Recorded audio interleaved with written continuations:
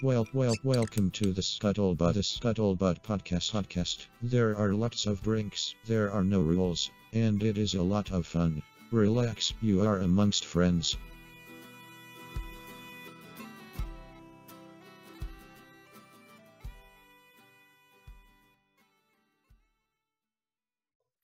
Everybody, and welcome back for another crazy and chaotic episode of Scuttlebutt VR. Uh, proud to say that we are probably the most informal uh, virtual reality podcast that exists. It's our formula. We're sticking to it. I'm joined, as always, by my lovely co-host Hermes Oslander. How you doing today, buddy? I'm doing swell. I'm finally off work. I got through traffic, and here we are. That's the way to be. You just zip over everybody. You know, you just like use the tractor beam, pick up cars. I assume you got I, I, some some sort of alien. Sh- I'm picturing like Rick and Morty. I was gonna say, unfortunately, Rick has me beat. I, d- I couldn't afford the the spaceship he's got, the saucer ship he's got. It's Right, you like Mercedes Wrecked it on the initial landing. You know. I'm still working on getting that one fixed, but Well, man, as I'm sure that you already know, but for all of our guests, the topic of today is going to be esports. Um, you know, I'm sure that you, e- even as a boomer, you have to have some kind of idea of what esports are. Obviously, it's just video gaming, but in a in a professional sense, in in a real kind of like league. You're you're going big. You know, this is uh this is not just two guys, you know, two brothers in their bedroom fighting over who gets the best controller. Yeah, yeah. See, I thought esports stood for electronic sports. So here we are, updating me. I mean, uh, like, I guess, but it's about more than just, you know, because, like, it, it's not just FIFA and, like, 2K and, like, the sports games. You know, there's PUBG, Call of Duty, Fortnite. Like, you know, you've got, like, a ton of just video games, what not, like, traditional sports necessarily, um, that all fall under that esports umbrella. That makes sense. You, uh, do you watch any esports? Do you remember the first time that you ever saw? Like, what, what the first esports you watched was? None at all? Not even, I like, have seen stuff on YouTube or I've seen small clips of of gamers, esport gamers, and uh, saying that this person beat that person, and I think it was like Ninja or something was like a big esports. Person hey that's yes something. he's he's probably the most well-known esports person so we can we can give you a point right there for that one at least I don't know Yeah. what he plays. I don't know how good he is. I've never seen him in action. I just know of. do you know name. what color his hair is blonde? no i thought you were gonna get it it's blue Yeah, yeah That that's like it's, my- it's that's his whole brand. That that would have not at all yeah. It's okay we would have got there eventually. There's only so many colors in the rainbow. Uh, for me personally, I would say the first esports that I watched was like Super Smash Brothers back on the GameCube. I watched people at uh, at conventions and stuff kind of play playing that, and you know everyone would bring their own rig and hook it up, you know, kind of old school with LAN parties, and uh, and yeah, so that was my kind of first experience to like real competitive gaming. Uh, and they, you know, they had a little prize pool that uh, is is not the prize pools they have now are way larger. Uh, it's crazy. That's one thing that always bet. blows my mind thinking about esports. Is uh, is I, I looked it up. Um, where is it here? According to USA Today, the 2021 like total prize pool for Fortnite, nine point five million dollars. That's a lot of money for being good at Fortnite. Yeah, yeah. I don't even know how to be good at Fortnite. I don't know even know what it entails. That's true. That which is kind of crazy because it's I, I feel like everybody played it for a while. That we tried to play Apex Legends, um, and then you know We did. we got the the curse of the slow internet always got us. Although I don't like you have to have really kind of a one internet if you're gonna just download that whole game in one night. I think. That's fair. Yeah, I, I mean, I I know what my internet speeds are. They're terrible. I guess comment your internet speeds below and, and let us know. You know, wh- like what's the rating? We'll do this is an informal poll with our audience. Yeah. But yeah, so I'm guessing since you ha- haven't watched any up till this point, you don't really have like a huge interest in esports. Uh, no, it's not that I, I. I think it has uh like it is interesting to think about where's where it's going. You know, for uh, you know, moving forward. I think it's uh, it's uh, when I first was uh like you said like Smash Bros right back on the GameCube. I once you said that I was like oh I guess yeah I had some experience with uh you know like uh LAN parties uh, in like the barracks. That was one thing that was pretty popular in the barracks. Like get together makes on the sense. weekends for anybody who couldn't leave. You know anybody who couldn't leave it, but it wasn't sure. It certainly wasn't like professional. So.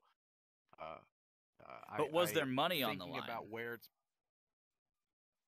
of course not. so it's it, it's we'll call it semi-pro. That would be against UCMJ. There was never money involved, never any gambling on military installations. Yeah. I don't even have money. Like- No idea. but uh, seeing where it has progressed and you know where it started and where it's come now, and like you said, you know now there's prize monies in the millions uh, in total. It's as it, it is interesting to see that that's obviously where um, an interest lies and where a lot of kids growing up in our generation and future generations are obviously spending a lot of time you know on electronics on, in the digital space. It only makes sense to see that all these sports are going to start popping up there as well and people who are going to get really really good at them you know are going to start competing against each other. That just makes sense to me I, I think that really segues well into my next point. I was going to ask what your opinion, like, would you consider, for example, Ninja, uh, is he an athlete? Because I know that you yourself at one point were an athlete, so you you know you've you've been there, uh, in, in one sense. So I'm curious, you know, because there's there's a lot of that regimentation. You know, you got to put in the time to get good, uh, and and in a way, you have to have considering how long some of these tournaments are. You have to at least be healthy enough to not, you know, go into diabetic shock midway through an event or something. Yeah, I think it's a it's that age old uh, question. Uh, I mean, not even age old, but just like our our own definitions of what athletes are. It's kind of like when NASCAR was becoming a big thing, and people are like, "Oh, they're not athletes," but it's like they're do- doing a very strenuous activity for a very prolonged period of time that wears and tears on the body. And I think it's And just they piss our idea themselves. of what. Yeah, it's like that's the our idea. what what is more athletic than pissing yourself? That's really a challenge to Well, anyone it, out ba- there. It comes down to it. Ca- it comes down to definitions, man. So, like Ninja, to answer your question, uh, I would, I would, I would think he, you know, I would agree that he is an athlete. He's just a different type of athlete, just like a chess, a grandmaster chess player, you know, compared to a, you know, a track star, right? Like I, I ran track, Sure. I did football. That was my quote unquote classical athletics, you know, where it was just like more body oriented, right? Whereas, you know, a chess master or maybe like a knowledge bowl contestant or you know, um, a debater, like a two debate A teams, master you know, debater. There's a there's a Potentially, you might say. of, uh, yeah, uh, there's a series of, uh, I would say, of uh, quote unquote athletes that are just in different, you know, athletics, and now we just have the electronic uh, representation or new addition to that spectrum is all that it is. I I think that's a great perspective. Uh, and and like you were saying before, I think it is going to be the future. Um, I mean, there are several like actual sports franchises that have bought up their own like esports teams that are competing in leagues and stuff. More just, I, I don't really think it's at this point an investment that makes them money as much as it probably is just making sure that they've got Yet. a stake in the future when it is more popular and it is making money. Uh, and and I like already I remember it blew my mind the first time that I was sitting in a sports bar, like an actual sports bar in real life, and I looked up at the TV and it was fucking Overwatch on the TV, and I was like, are they really? And and, and, like I realized it wasn't a YouTube video; it was an actual like ESPN three or whatever was showing esports, and that's what they had that TV tuned to. And I was like, dude, this is like, I it, stuff Yeah. has definitely moved up from where it was back when I was watching people play GameCube. Like exactly. that, that was the kind of thing where it would get you beat up in a sports bar. Like yeah, yeah. Um, but especially now, speaking of the future and technology, obviously we're in virtual reality. Uh, we we've played a couple of games that can make you sweat. Can really they bring that physical side of the athletics back into it. Um, and so there are a few like more popular VR esports. Uh, Population One and Echo VR two that come to mind for me. Um, and yeah, they really involve you know, unlike Fortnite where you're just running around with joysticks and pressing buttons, in Population 1, it's a battle royale where you're you really got to shoot and you're swapping mags and it's it comes down a lot more to the actual fine motor skills and, and really brings that physical aspect into it. Uh, so do you do you think that that's going to play a large part in the future of esports? I think, right as you're saying that, I think it is the exact representation of sports currently outside of the digital space. And and uh, you know what I Mhm. mean by that is as as you're as you're discussing like oh it's you know it brings in some of the physical aspects of it and my brain was like well how could it bring in more of it right okay we we start hooking up more haptic suit more feedback uh, technology so your body is more involved and whatnot and then uh and so therefore there's maybe like this idea of evening the playing field right but then i thought oh well of course there's going to be people that abuse that where it's like you have a faster mag reload or you have more strength than you normally would have coming into the game you have you know but if it's a product that uh, everyone can buy, then is it really an advantage? the- like just I mean- just like steroids everybody can buy steroids right now you know Well, if you want to you I, know if you I think that's an whatever. unfair comparison. I, uh, I, I, I think it's But- not that different from like having a different controller. You know, if you're going to an event, you, you most times you can bring your own controller, and as long as it's not something that you've modified, it's a product that can be purchased. Uh, I think, I think Mhm. really it's the whether it's commercially available and not something I guess that you have to risk your body for. It's probably the difference with steroids. Like, I don't know any casual steroid users. to game. Uh, you don't know the military because there's a lot of them. uh, there's there's uh there, there's always ways to gain the system. You know, that's kind of the point. Is that, that I'm getting Well, at? It's sure. like you know, it's not just it's not just a specific like anabolic steroid regimen. You know, you know, there's TRT, there's hormone therapy, there's you know, there's um uh, blood therapies. You know, there's uh, anaerobic and aerobic therapies that you can do that depending on what sport it is can give you unfair advantages or are Sure. outlawed or go under the radar currently and I'm sure and currently with esports being as new as it is i Well, and that's what I was going to say. Bringing it back little- to esports, there absolutely are. The equivalent would be like wall hacks, for example, so you can see through walls, or aimbots that make you know it's just really good. And as esports have kind of come along, because like I said, it it's a lot bigger industry now than it was even five years ago. The the anti cheating and the people watching the judging and stuff has gotten a lot better. Um, but to me, that's another like benefit of VR. How are you going to have an aimbot in VR? Like, it's going to be very clear to everyone that your physical movements, your dopey ass body, isn't matching up to what's happening on screen at all. Uh, and so it's gonna Look- you're gonna actually have to have that physical ability to back up the representation of what people are seeing. Um, and and kind of on that note, the International Racquetball Federation. I'm sure we're all big fans of them. Uh, Yeah. I, I literally have never heard of them before this, but they recently sanctioned a VR game called Racket Next VR. Um, and the reason why that's important is it's because it means that VR is now an officially sanctioned sport of a federation that is recognized by the International Olympic Committee. So we're it's like Hmm. the first step on the way to VR in the Olympics, baby. okay okay Which is, I would say, the Well, ultimate in could- esports.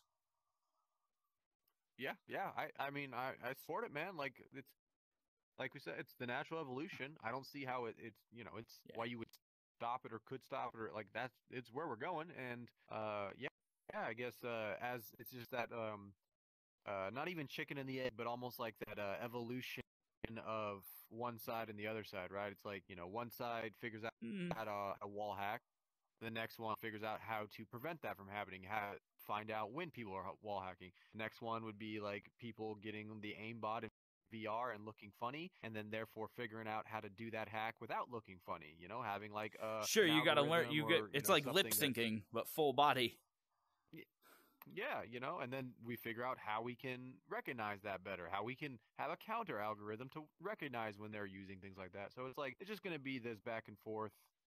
Well, the really cool thing- that's probably going to be that ma- that helps a lot now with you know YouTube and Twitch streaming is that you can have thousands, if not hundreds of thousands of people sometimes watching these games and these people, and so you have just like so much manpower that's willing to step forward and go, no, look.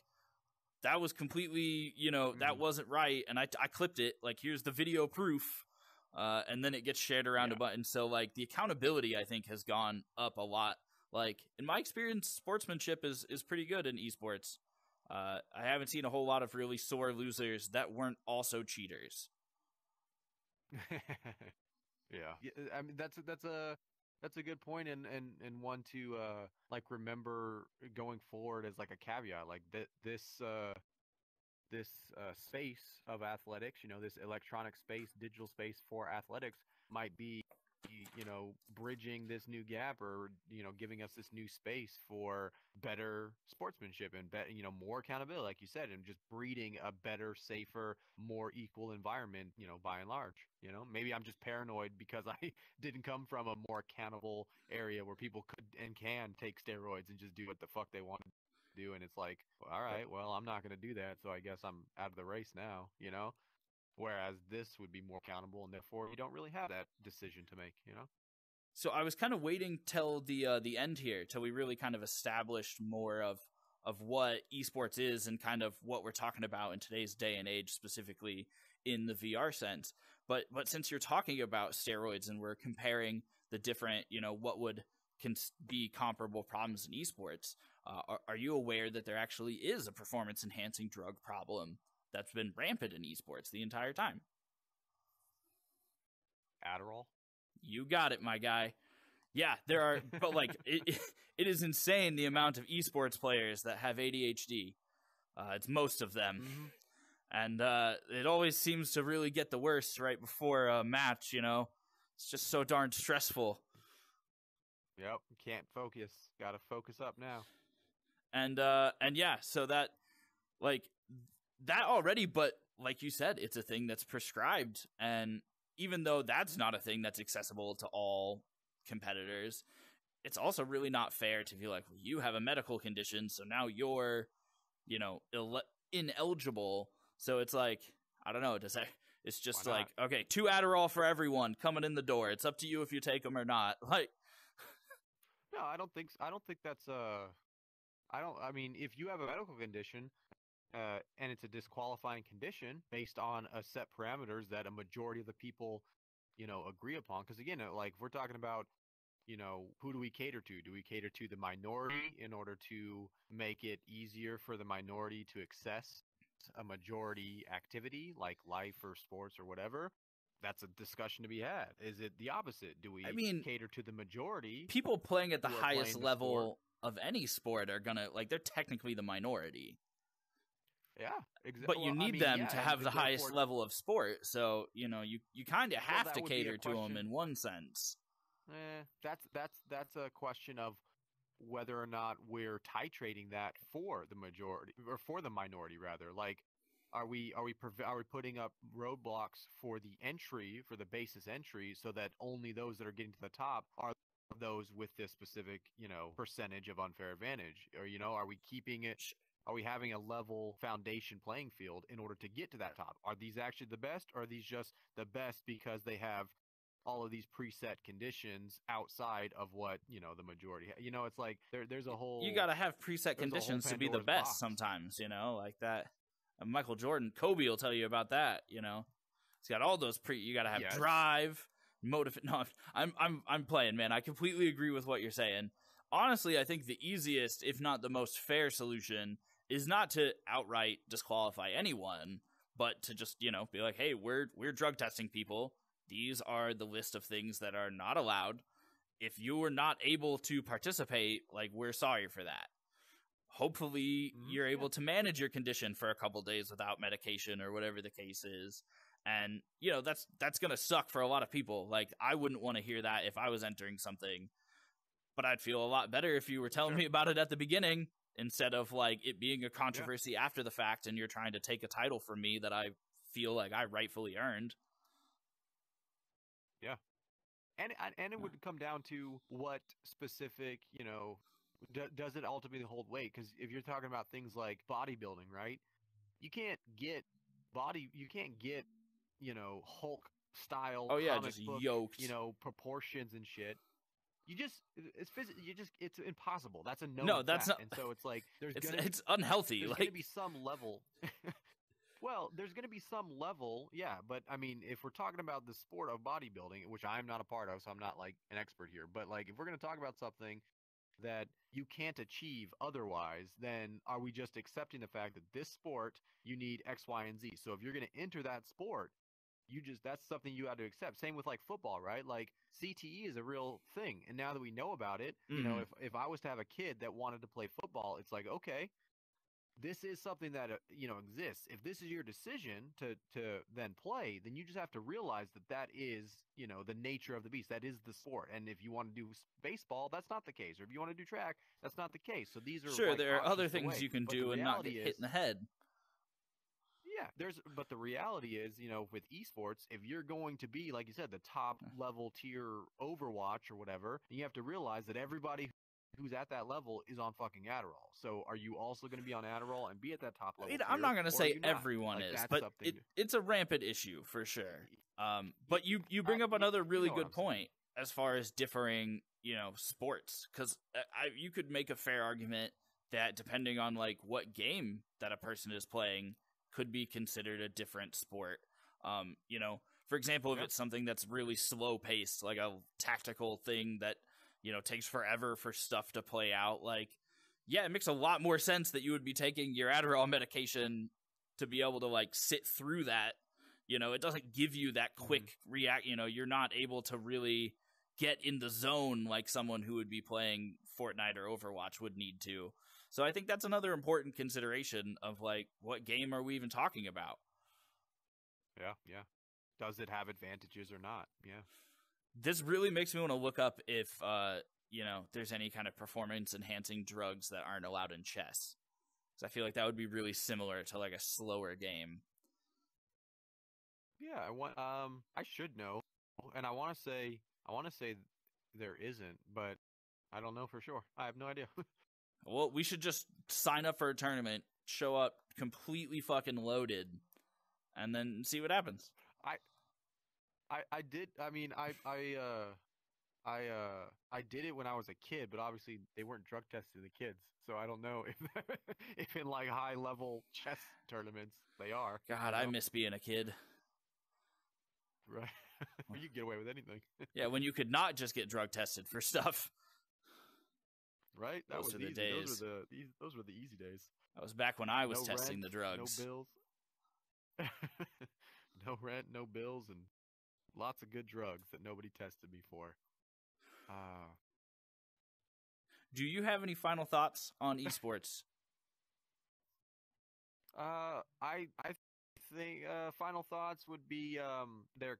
I'm excited for where it goes because that day when we can hook up to the Matrix, you best believe that all those people that have injuries and are and are aging, you know, guilty. Uh, I will be certainly um, enjoying the benefits of having a virtual body that has you know the stats that I put into it to and feels like I'm running or you know tackling or doing whatever shooting you know in a Gives you that real actual, you know, feedback. realistic sense.